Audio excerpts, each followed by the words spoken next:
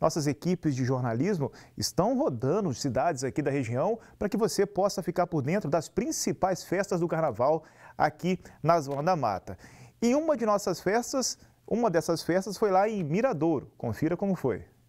Uma multidão foi para as ruas. O carnaval em Miradouro é um dos mais tradicionais da região.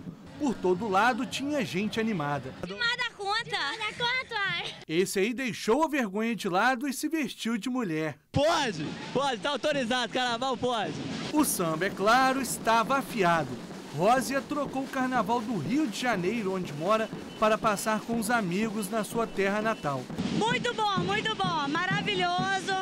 No sábado, dois blocos animaram a galera. O primeiro foi a turma do Bicho Sereno, que desfila pelo quarto ano seguido.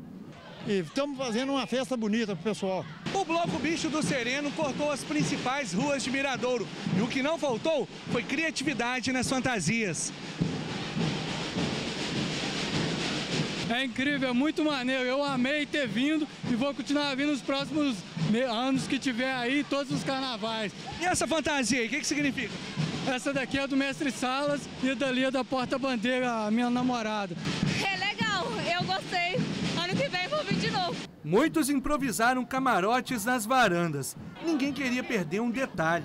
Só no camarote, só de boa. Uma multidão concentrou na praça da cidade e tinha foliões de todas as idades. Dá uma olhada nas fantasias da Laura e da Lívia. Você tá vestindo de quê?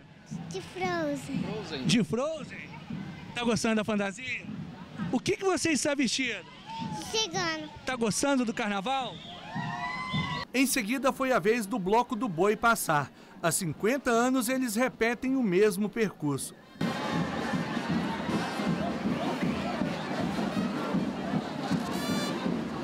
Isso aqui é a alegria do povo de Miradouro e de quem vem de fora, gente. Vem brincar com nós, vem. Mas sem, sem droga, sem violência. Tudo na harmonia e na brincadeira. E se depender dessa animação toda, o carnaval em Miradouro vai continuar animado por muitos anos. Dançando, dançando, dance comigo.